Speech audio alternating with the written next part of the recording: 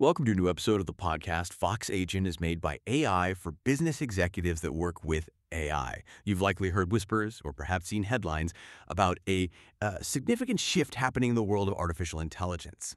Today, we're taking a deep dive into a crucial report generated by Vox Agent titled The Exodus of AI Talent from Meta. This isn't just about one company. It's really a symptom of, well, seismic shifts in the entire AI landscape. Our mission for you today is to unpack why some of the brightest minds in AI are leaving one of the world's tech giants, what it means for the broader industry, and most importantly, how these trends will inevitably impact the future of innovation for you and your organization. Absolutely. And this Vox Agent report, it's a really comprehensive synthesis. It pulls together insights from, you know, numerous articles, academic research, proprietary analysis to give us a complete, quite nuanced picture. It offers a deep look at the underlying causes of this talent migration. I mean, everything from strategic pivots and resource allocation right through to internal culture and its profound implications. We'll explore not just what's happening on the surface, but that critical why it matters for companies like yours navigating this rapidly evolving AI landscape. Okay, so diving straight into the report's core finding, it paints this vivid picture of a significant departure of top AI talent from Meta. Hmm. It actually characterizes it quite dramatically as a brain drain.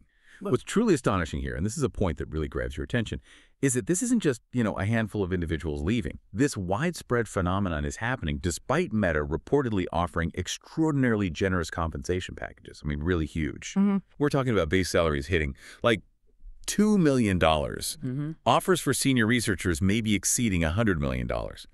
And get this, there's even a jaw-dropping reported $1 billion job offer to one highly sought-after researcher, Mira Murati, known for her pivotal work at OpenAI. Wow. A billion dollars. Yeah, and she apparently turned it down.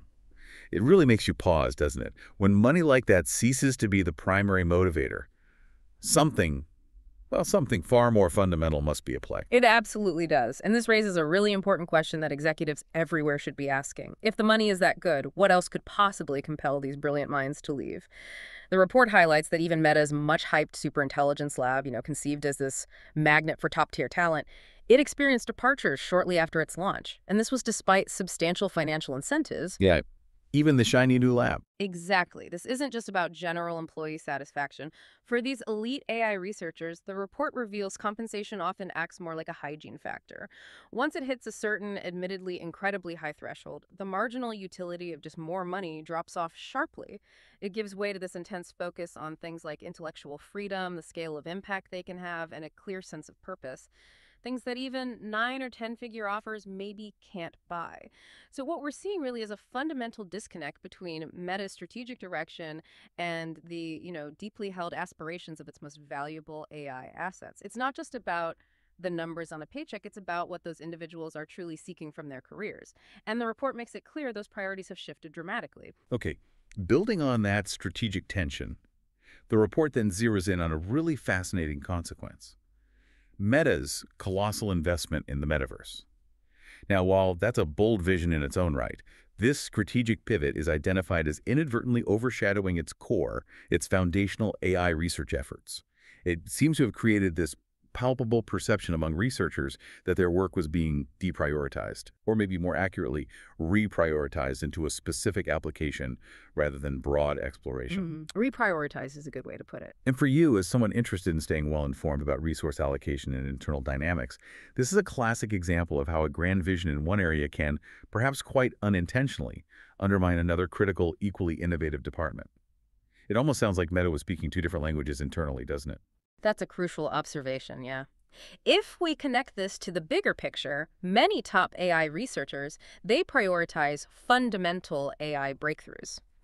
Think of it as building the next generation of general purpose AI models, you know, ones that can learn, adapt, and reason broadly, really pushing the very frontier of what AI can do. Right, the really foundational stuff. Exactly. And that's distinct from solely applying existing models within a specific framework like the metaverse, which, you know, while valuable, often means optimizing current AI for very particular consumer-facing applications within a sort of closed ecosystem. For these top minds, this kind of shift created uncertainty and disillusionment. They seek organizations where their skills are central to the overarching vision, where they can contribute to truly groundbreaking, foundational work that advances the entire field, not just one product line. It's about that intellectual stimulation, unfettered exploration, and the ability to make a significant, often public impact on the scientific community. So if that's the strategic backdrop, what does this all mean for Meta's internal environment and its ability to actually foster innovation? The report does hint at a chaotic culture and maybe a lack of clear vision within Meta's AI division. Mark Zuckerberg's leadership style, while undeniably transformative for growth in many areas, it might not fully cater to the unique needs of these cutting-edge AI researchers. They often value autonomy, deep collaboration, and a stable, intellectually stimulating environment maybe above all else. That's a key point. And adding to this internal turmoil, the decision mentioned in the report to restructure the AI unit into four separate subdivisions. It further exemplifies a company maybe grappling with its direction and how best to manage its elite talent. It's just a certain restlessness in Meta's approach, perhaps a continuous search for the right organizational fit. Indeed. And this lack of clear alignment and consistent communication, coupled with these rapid shifts in organizational structure and priorities, well, it can profoundly erode employee morale. It fosters a sense of uncertainty that's particularly detrimental to high-level researchers who you know, need long runways for complex projects. This instability prompts talented individuals to seek more stable and predictable environments where their intellectual capital is consistently valued and their efforts aren't subject to sudden strategic pivots. You need that stability for deep work. Exactly. The report suggests a crucial misalignment in the employer-employee covenant, that unspoken, often emotional, agreement about what each side expects and values in the relationship. When that covenant is broken, or even just strained, it directly impacts long-term innovation capabilities. A sense of instability drives away the very people needed to drive future progress. It's a stark reminder, really, that even the most innovative companies need a coherent strategy for nurturing their most valuable asset, their yeah. people. And this isn't just a meta problem, is it? The report makes it clear it's a symptom of a much larger, truly global AI talent war that's just escalating fiercely.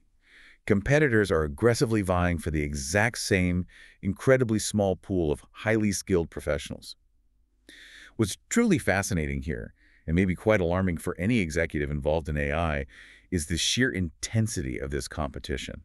It sounds like an all-out, no-hold-barred battle for the brightest minds. Oh, absolutely. The intensity is remarkable. With tactics that probably go far beyond standard recruitment. For sure. The report offers some surprising examples that really underscore this intensity. It paints a picture of, well, almost desperate measures by some of the biggest players. Companies like OpenAI have successfully lured away some of Meta's top researchers. And not just with money, but by emphasizing a powerful research-first culture and a clear, almost singular vision for advancing AI. That's a vision that resonates deeply with those seeking to push the absolute boundaries of the field. A clear mission. Precisely. Then you have Google. The report indicates they reportedly employed extreme, almost comical retention efforts. Apparently, they've paid some top AI engineers to essentially do nothing for a period, simply to prevent them from joining competitors. Wow. Paid to sit on the sidelines. Think about that for a moment. Paying someone millions to not contribute just to keep their talent out of a rival's hands. Yeah. It just highlights the astronomically high stakes and the extraordinary lengths companies are going to for top talent in this rapidly evolving, highly competitive field. And beyond the tech giants, the report also touches on how well-funded AI startups are becoming increasingly attractive, right? They offer these unique value propositions like significant early-stage equity, maybe less constrained research environments, and a direct line to impact without all the layers of corporate bureaucracy. Right. Even a place like Meta has bureaucracy. That's a very good point. Startups offer that agility. So what does this broader picture tell you and tell our listeners about what top AI talent truly values? It's clearly not just the paycheck, despite these eye-watering sums involved. It seems like a much more complex equation. It really is. That's a crucial distinction the Vox Agent report makes. The analysis underscores that top AI talent is increasingly seeking out organizations that offer a, uh, a holistic value proposition. This includes greater opportunities for professional growth, intellectual stimulation, and a strong sense of purpose. And for these individuals, purpose isn't just a buzzword. It's about contributing to something genuinely transformative, whether that's foundational research, ethical AI development, or solving truly intractable problems. Meaningful work. Exactly. Factors like autonomy, collaborative environments, and recognition for their contributions are paramount. They want to be part of a team where their ideas are heard, their expertise is respected, and they have the freedom to explore. This highlights a broader trend where the work environment, the leadership's vision, and the specific impact they can make are just as important, if not more so, than purely economic factors when these individuals make career decisions. They want to be part of something meaningful, where their efforts are truly valued and absolutely central to the mission. Okay, so understanding all that, what are the actionable takeaways? For Meta, yes, but more broadly. For any company, including those listening, looking to thrive and actually retain its talent in the AI space. The report offers several key recommendations that feel incredibly relevant right now. Yes, it does. First, companies really must prioritize a strategic realignment. They need to clearly articulate AI's central, absolutely non-negotiable role in their future. And this isn't just about putting something nice in a mission statement. It means clearer communication around strategic direction and much more transparency regarding resource allocation. Researchers need to understand precisely how their work contributes to the overall vision and know that their cutting-edge contributions aren't just, you know, ancillary to other strategic pivots, but actually foundational to the company's long-term success. That kind of clarity can prevent the disillusionment we saw examples of at Meta. That makes perfect sense. Clarity of purpose, strategic alignment, obviously crucial. But that raises another important question. How can companies cultivate the actual internal environment? The day-to-day reality where these brilliant minds feel truly valued, empowered, and, importantly, inspired to stay and do their best work. Right. The environment is key. A major recommendation is to foster a vibrant internal innovation ecosystem, one that genuinely provides researchers with greater autonomy, creative freedom, and ownership of their projects. This could mean creating dedicated blue sky research tracks, maybe internal incubators for experimental ideas, clear pathways for publishing or presenting their work externally. Giving them space to explore. Exactly. It also includes facilitating interdisciplinary collaboration, connecting AI teams with other cutting-edge departments, and crucially providing state-of-the-art resources and tools. Can't forget that. Furthermore, tailored professional development and upskilling opportunities are vital. The report suggests benchmarking against companies like Microsoft and Google. They're known for robust internal development programs and academic partnerships. Learning from them can provide invaluable insights into building an environment where talent can really flourish. It's about investing in their growth just as much as in their immediate output. So while the money matters tremendously, especially to attract them initially, it's truly about the whole package, isn't it? The intellectual challenge, the culture, the growth opportunities. Yeah. It's a much more intricate tapestry than just salary negotiations. That's precisely right.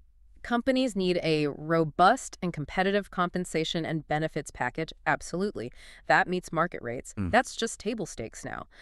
But beyond that, they need to offer things like flexible work arrangements, maybe opportunities for sabbaticals for deep research, and clear career progression frameworks. Frameworks that don't just lead to management, but also to deeper, more impactful research roles. Right. Not everyone wants to manage people. Exactly. Ultimately, it's about building a strong employer brand and a culture that genuinely emphasizes innovation, diversity, inclusion, and employee well-being. And importantly, actively promotes psychological safety. That safety allows researchers to take risks, even fail fast, without fear. Proactive talent management, understanding employee sentiment through regular, meaningful feedback, continuously learning from successful competitors. These are all critical for sustainable innovation. It's a marathon, not a sprint, and culture is the fuel that keeps you going. So the exodus of AI talent from Meta, as detailed in this Vox Agent report, it really serves as a powerful reminder. In this blistering race for innovation, human capital is paramount, and its true value goes far, far beyond the balance sheet. For you, it highlights that a company's vision, its culture, and its authentic commitment to genuine intellectual growth and impact are just as, if not more important than even the most lavish compensation packages. This really feels like the new battleground for AI leadership. It does, and this deep dive makes me wonder, as AI continues its rapid, almost dizzying advancement, will the ability to attract and retain the very top talent ultimately be decided not by who offers the biggest paycheck anymore, but perhaps by who offers the most compelling purpose, the most profound intellectual freedom, and the clearest path to making a truly significant scientific contribution. It's a question that will undoubtedly shape the very trajectory of technological progress in the coming years. Food for thought. Thank you for joining the podcast, and see you soon.